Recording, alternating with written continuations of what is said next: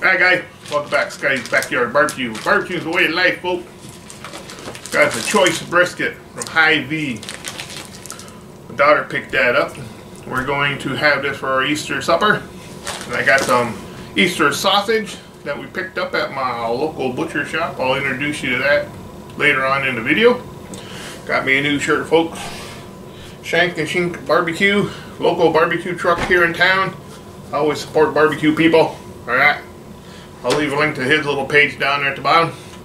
Anyways, we're going to do your basic backyard barbecue trim. I will not bore you with that. There's a million videos out there how to trim a brisket. Alright. Videos are long on brisket. We'll get back to you in a minute when it comes time to season this up, folks. Be right back.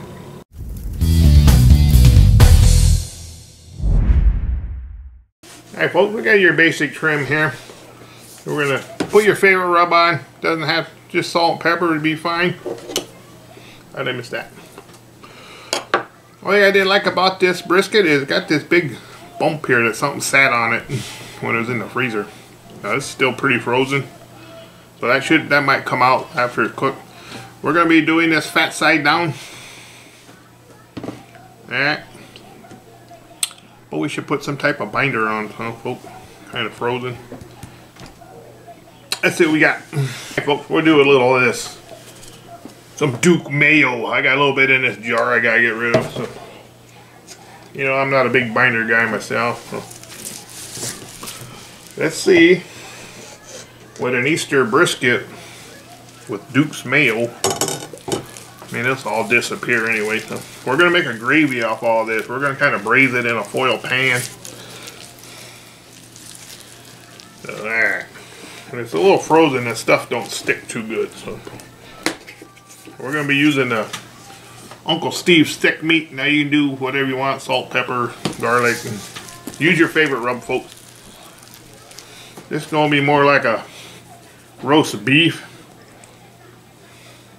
than a backyard brisket. Remember, this is the Easter brisket, not a brisket that you would make on the 4th of July or something. We're not really going to focus on bark like you normally would. We ain't to worry too much about smoke ring like you normally would. Yeah. We're to cook this fat side down if I haven't mentioned it. We'll be using a Weber SmokeFire. Yo Duke's Mayo Brisket from Hy-Vee. How does that sound, folks?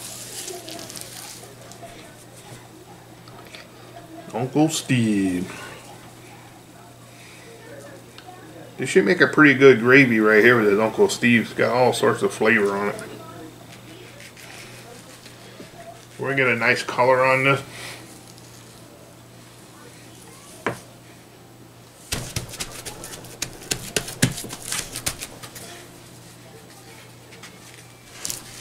We'll get all the edges, folks.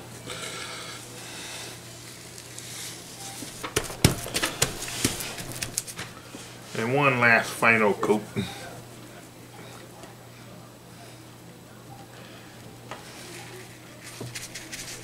Yeah.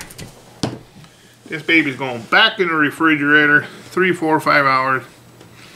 We're going to put this thing on smoke setting for a couple hours.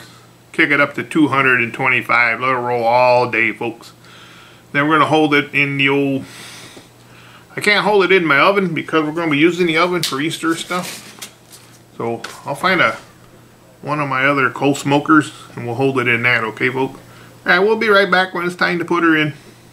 Alright guys, I want to bring this brisket out in this daylight instead of stumbling out here in the dark.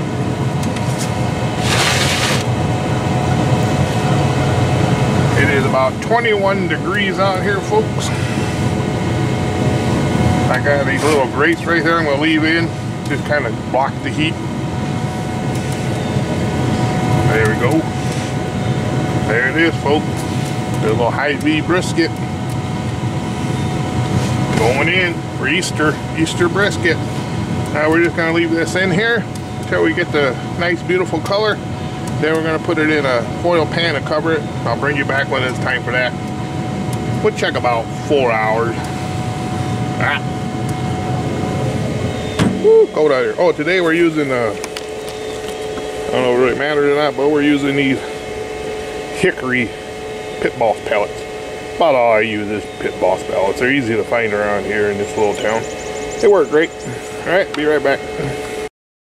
All right, guys, it's been two hours in the smoke.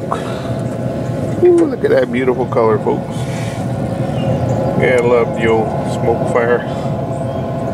Yeah, chewing along nicely. Got a nice little color already. We're gonna crank it up to two, probably 225. Let it roll for a while. All right, see you back here at the four hour mark. Look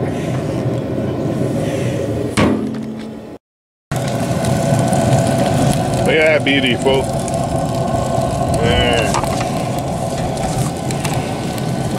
What I'm looking for here, folks, since it's an Easter brisket, we're not focused too much on bark.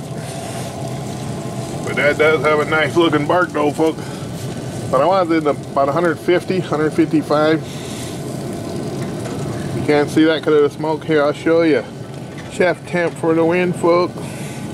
150. 156 at the point. That's about right. We're gonna take this off. We're gonna put it inside this pan. Remember, this is Easter brisket. We're not too worried about stalls or bark or smoke rings. It's gonna be like a roast. Big beefy roast.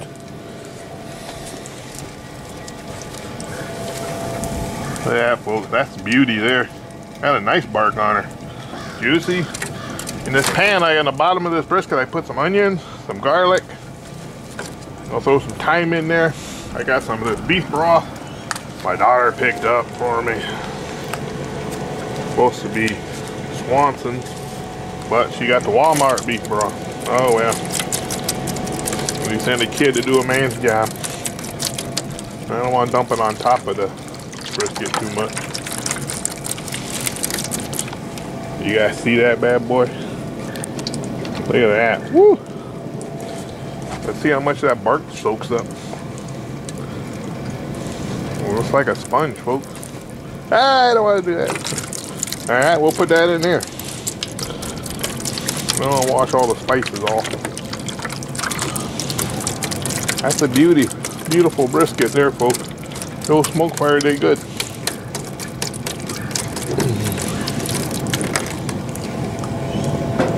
And I'm gonna toss in one old Milwaukee. You can use red wine if you want, but hey, we're middle class here. We ain't high class. This guy do backyard barbecue.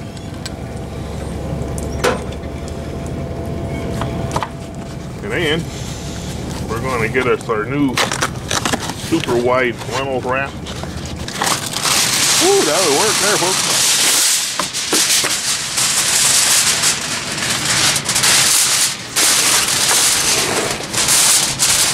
Pro tip, enough to pull off on the end. They don't burn your fingers. Alright.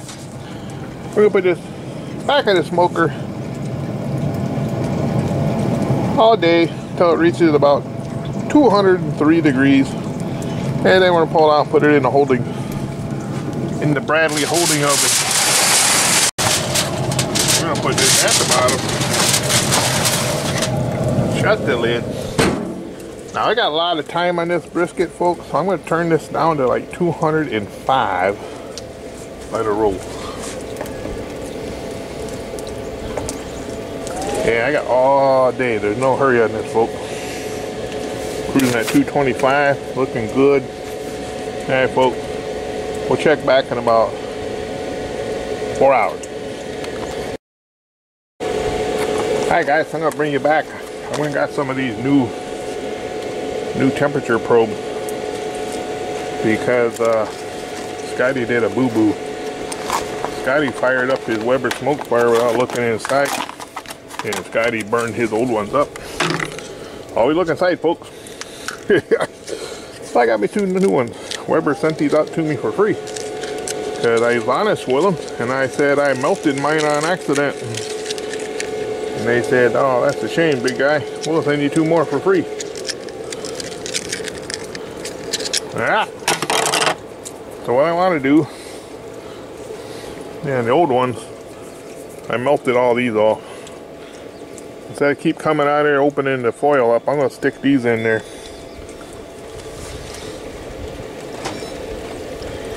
Even though our, some of these are not very highly durable, you know, accurate no matter what pellet grill you own, I do not trust these too much. But since these are new, they could be pretty accurate. Number one.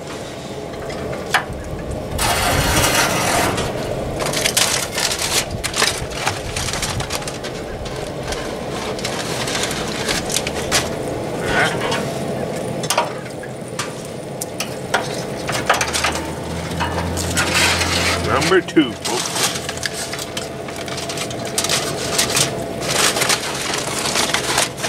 Yeah. I'm gonna give that a minute to go up.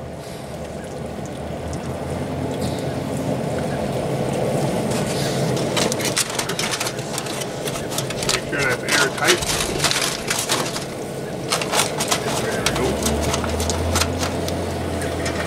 Alright, folks, we'll be back in four hours or whenever it hits 205 and I'll show you the holding oven. Alright guys, we're closing in on the 200 mark according to those temperature probes. I don't really trust them. I don't trust them on any smoker, not just my Weber. The only thing I trust is a Moth Chef's Temp.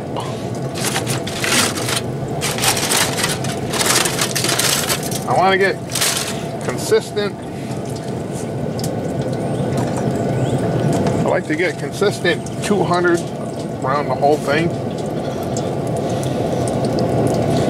196. Still not probing like butter. 198. Of course, the thinner part might be 200. That feels pretty good. That's 207 there, folks. See, locked her in.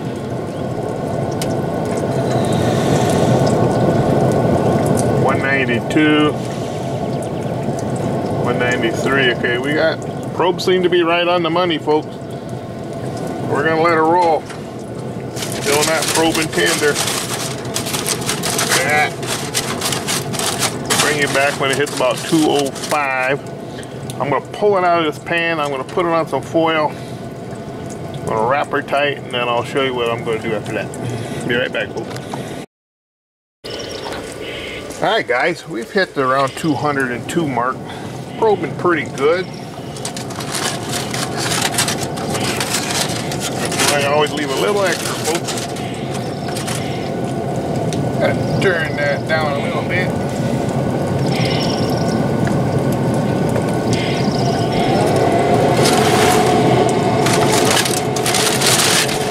There we go, look at that boy. That's a beauty. I'm going to try to get this thing out of this bubbling hot liquid and into the foil. I ran out of gloves.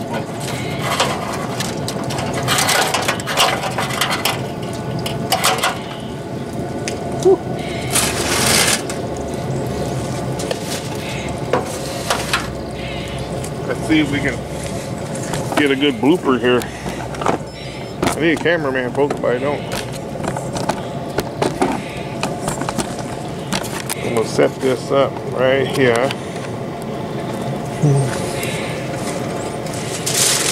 We're not professional film editor here, folks. But my little channel is growing pretty good. Appreciate each and one of you. I'm just like you guys in the backyard. Alright. Let me screw you back a little more. Get a long shot. There we go, folks.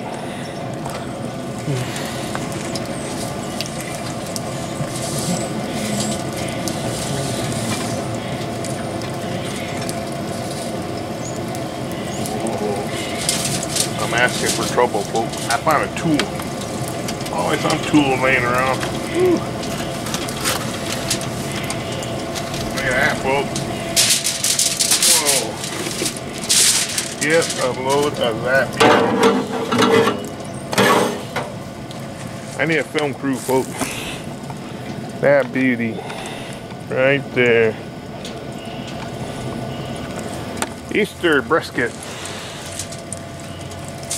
see what we make an Easter brisket.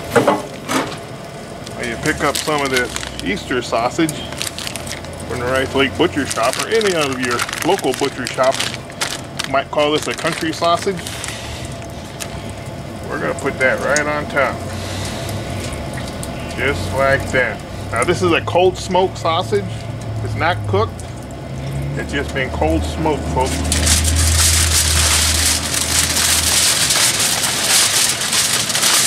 We're gonna wrap this as tight as we can get it. Oh, you know what I should do? I'm gonna take a little bit of this, not a lot, a couple tablespoons. Put that right on top.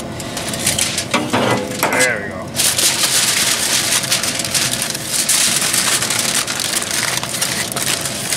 Nice and tight.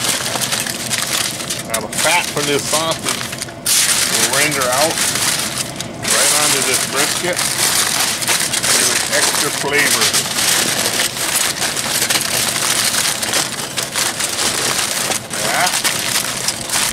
Just like that. We're gonna try and wrap it one more time sideways.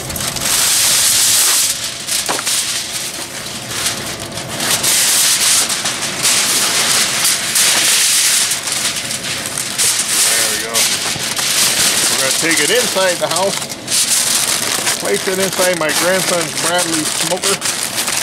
We're gonna hold it at 150 degrees right up till dinner time tomorrow, folks. It is 6 o'clock tonight on Saturday. Easter's tomorrow. So we're going to hold it. Alright. And then we're going to take this juice here. We're going to make gravy out of that, folks. And I'll show you how we do that.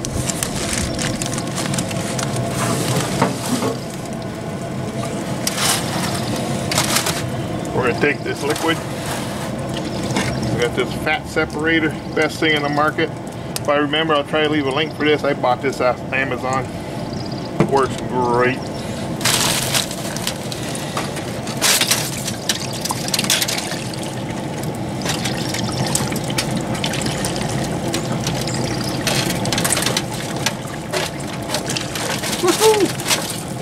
There we go. That should be plenty for some gravy, folks and other stuff. Alright, we'll see you inside the house, folks.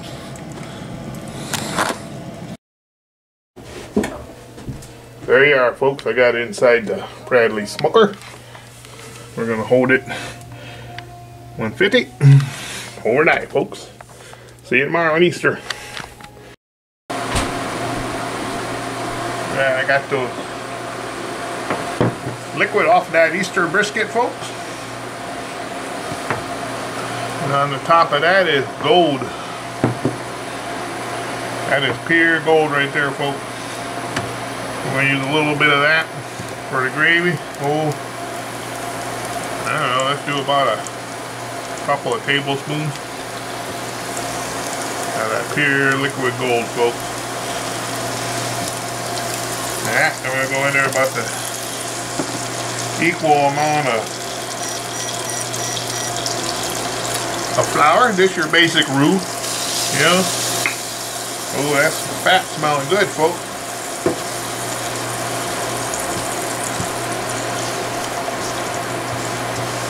Pure gold coming off that brisket with them onions, garlic, that thyme, all them spices, the salt, pepper. Cook that raw flour taste out, folks. That's one of the easiest things to make is gravy.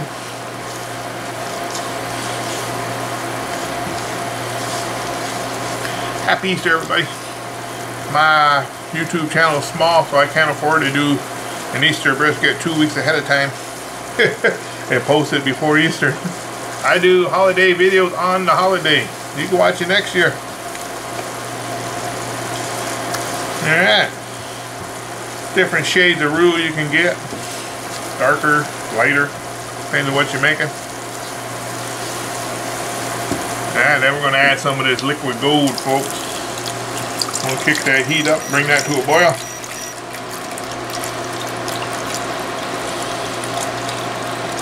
About two cups or so.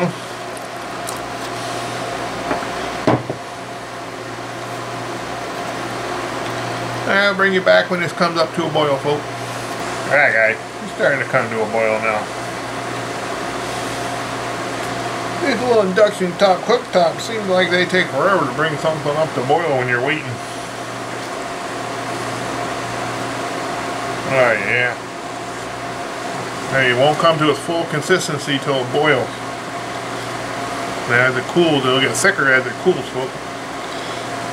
It's looking pretty good. Let's try it. That needs nothing, folks. No salt, no pepper. Everything that come off of that brisket was perfect. There you have it, folks. Easter brisket gravy. All we gotta do now is get that brisket out of the warming box. And we'll slice that up. Alright, we'll be right back, folks.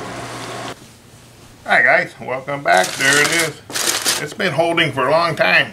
At least 12 hours. The old Bradley.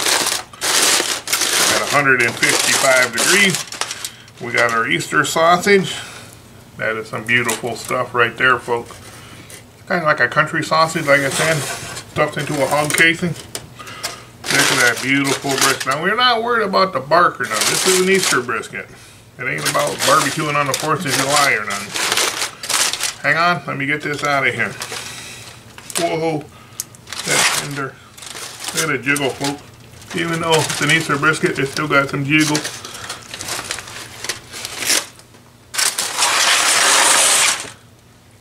There it is, folks. Ew, brisket.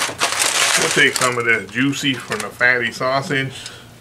I'm gonna pour that right over the top. Yeah, goodness, folks.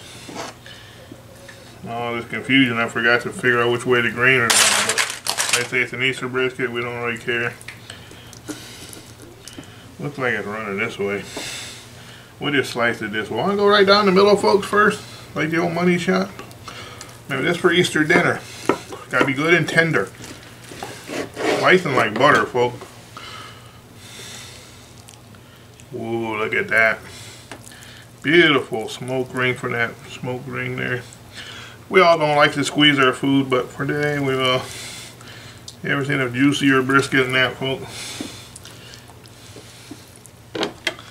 Let's slice her. Look at the juice just running out of that, folks.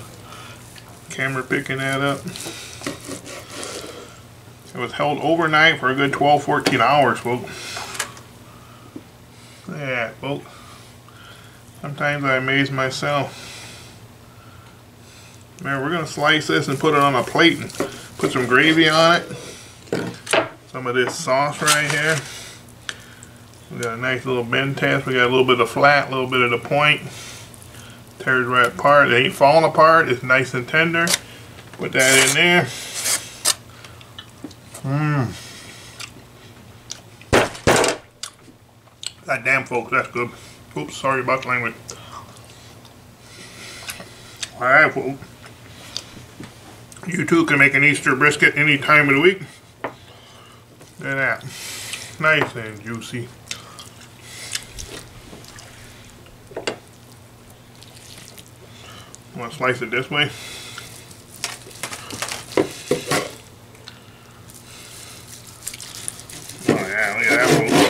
It's like butter. Nice and tender. Not falling apart. There. It's just perfect. That's cooked to perfection. Yeah. Just like butter, folks. There you go. Peace out.